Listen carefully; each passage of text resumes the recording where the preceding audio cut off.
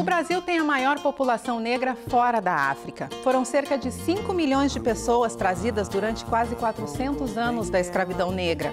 Mas de onde exatamente vieram? De que regiões, países, que religiões cultuavam? Com que características contribuíram para sermos o que somos hoje? Cada um desses povos que vieram para o Brasil, em cada um dos ciclos de escravismo, eles trouxeram cultos, trouxeram ciência, trouxeram filosofia. Vai ter eh, muitos desses povos se identificando como negro aqui no Brasil, criando essa diferença negra. Por que você trouxe estrangeiro para Palmares? Mas a gente também é estrangeiro nessa terra. Numa terra onde todos são estrangeiros. Quem é o estrangeiro? Nação, sábado 15 para as 8 da noite.